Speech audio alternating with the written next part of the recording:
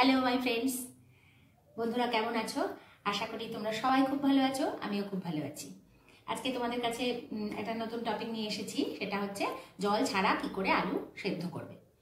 তো মাইক্রোওভেনে তো দেখো, তোমরা এটা দেখে নাও টেকনিকটা যেহেতু আমি এটা করি এবং ভীষণ উপকার পেয়েছি দেখো, আলু কাবলি খাওয়ার ইচ্ছে হয় অনেক সময়, বা ধরো আলু সেদ্ধ করে কিছু বানাবে তুমি, তখন জল দিয়ে করলে আলুটা কেমন পানসে হয়ে যায়। বা জলটা শুকোতে সময় নেয় জিনিসটা করতেও সময় লাগে। তো জল ছাড়া যদি আমরা শুকনো আলু সেদ্ধ করে নিতে পারি তাহলে খুব সুবিধা হয়। আর ভয় পেও না কারণ এটা পরে থেকে আমি করি।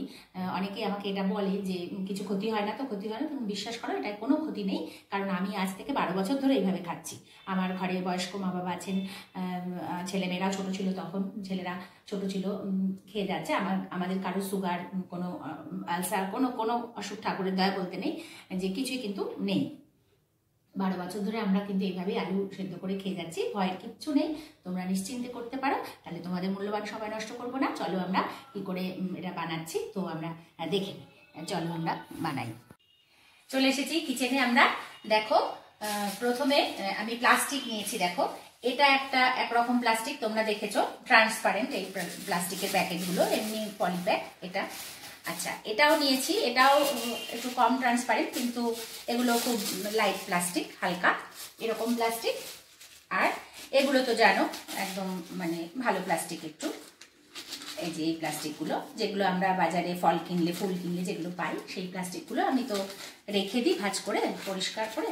তো এই প্লাস্টিক এই রকম প্লাস্টিকের যে কোনো প্লাস্টিক তুমি নিতে পারো। আমি দেখালাম তিন রকম যে যেটা তোমার হাতের সামনে থাকবে, তুমি সেটাই নিতে পারো।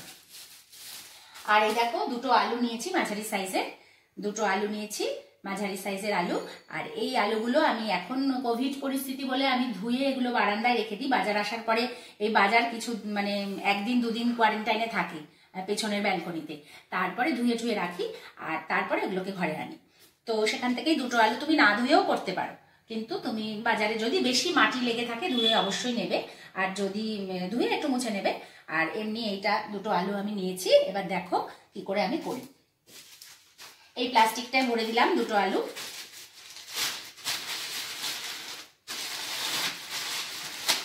এবার এটাকে জাস্ট একটা গিট দিয়ে দেবে। গিট দিয়ে দেবে, কারণ এটা যখন ভেপার হয় ভেতরে, গিটটা কিন্তু খুব টাইট হয়ে যায়, সেজন্য একটা হটকা দেবে, যাতে পরে খুলতে তোমার অসুবিধা না হয়। জাস্ট এরকম একটা গিট মানে গিট দিয়ে নেবে। এইবারে দেখো মাইক্রোওভেনটা সুইচ দেবে। এবার জাস্ট বসিয়ে দেবে দেখো মাইক্রো ওভেনে সুইচ দিয়েছি। এবার মাইক্রো ওভেন যেটা, সেই মাইক্রো ওভেন মোডে দেবে। মাইক্রো ওভেন মোডে দিলাম আমরা। এইবার এটাকে তোমরা টাইম দেবে। আমি দুটো আলু দিয়েছি, আমি দু মিনিট দিলা- দিলাম। দেখো, দু মিনিট দিয়েছি। এইবার স্টার্ট স্টার্ট করে দিলাম।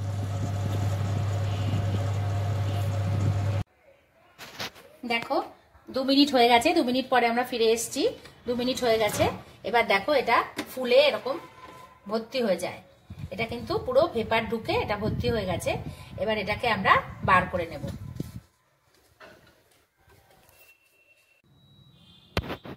এবার দেখো মাইক্রো ওভেনটা আমরা সুইচটা অফ করে দিলাম। এবার এটা বের করে নেব। গরম একটু সাবধানে বের করবে। বের করে এই গিটটা খুলে ফেলব।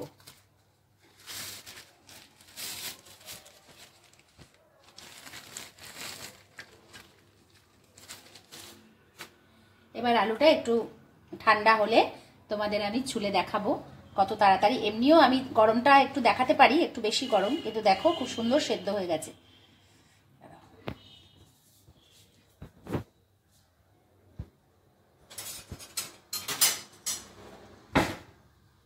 দেখো, খুব গরম বলে আমি হাতা দিয়ে একটু দেখিয়ে দিচ্ছি তোমাদের। খুব সুন্দর ভেতর পর্যন্ত একদম সুসিদ্ধ হয়ে যায় আর খুব তাড়াতাড়ি হয়ে যাবে। তোমাদের কোনো টেনশন হবে না, কোনো কিছু বানাতে বা কিছু করতে, কোনো চাপের ব্যাপার নেই। খুব তাড়াতাড়ি হয়ে যাবে আর শুকনো আলু, একদম তোমরা যা খুশি বানাতে পারো এটা দিয়ে। আলু সেদ্ধ মাখা করে খেতে পারো, স্যান্ডউইচ করতে পারো, আলুর দম বানাতে পারো। তবে যদি আলু খুব বড় বড় সাইজের হয়, তাহলে দু মিনিটের জায়গায় আর একটু বেশি দেবে, তিন মিনিট। আর একটু রেখে দেবে মাইক্রোওভেনের মধ্যে।